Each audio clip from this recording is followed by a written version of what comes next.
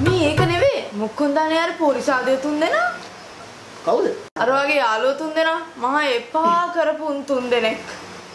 අම්මලා තාත්තලා නෑදෑ ඉස්සරහ හැසිරෙන විදියට දර හැසිරුනේ. මගේ යාළුවන්ටත් කැත විදියට විහිළු කර කර ඊට පස්සේ ගෙවල් වලට නම් වද්ද ගන්න එපා උකුන්. එහෙම කියලා බෑනේ සුදු ඉතින්. මොනා කරන්න දුම්මගේ යාළුවනේ.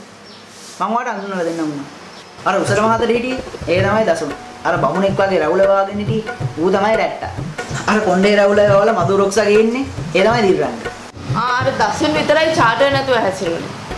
ඔව් ඉතින් ඌණන් ඉතින් වැඩි දඟලන එකෙන් නෙවෙයිනේ. පාඩ මං ඌ ගැන ප්‍රසිද්ධ රහසක් කියන්නද?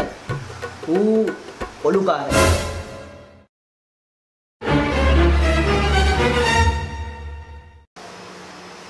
අපේ සෙට් එකේ රැට්ටාර එන්නේ අනිත් ඔක්කොම දන්න ඒ සීන් එක ගැන. මොකද ඌ රැට්ටට තමයි ආස.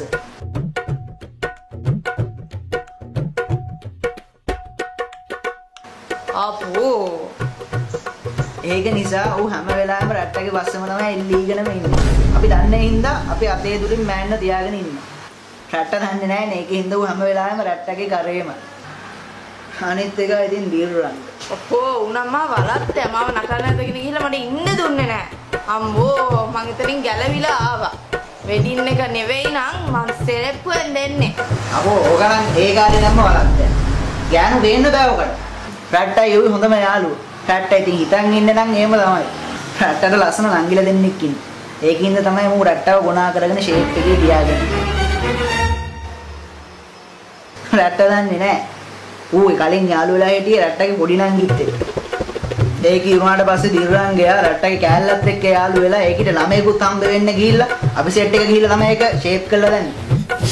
මිත්‍ර ද්‍රෝවිය තෝ මගේ හොඳම යාළුවගේ ඉඳගෙන තෝමට කෙලිය නේද මචන් කලබල වෙන්න එපා අපි මේ ප්‍රශ්නය මීට එලියට ගිහින් විසඳගමු මේ ඇදයට ප්‍රශ්න විසඳන්න බෑනේ මචන් අරුන් දෙන්න උඩ ඉන්නවනේ ඔබට තේරෙනවනේ අදුරු ඇදයට ලොහිටන මම තෝක භාවනා දැනගනින් එලියට ගිහින් මන් තෝ අල්ලගන්න මොකද සද්දේ? මොන සද්දයක්ද? මන්න කිසි සද්දයක් ඇහුණා. මේ වාට පිස්සුද මන්. ආ කියන්නකෝ. දැන් ඉතින් ඌ ඇහැගාගෙන ඉන්නේ රැට්ටක දෙවෙනි නංගිලා. අපෝ රැටමාර කොටෙක්නේ බලන් යද්දි.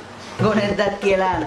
ඌ හිතාගෙන ඉන්නේ අපේ සෙට් එකේ ඌ තමයි පොර කියලා. ඒ වුණාට ඌ තමයි සෙට් එකෙන්ම චොර.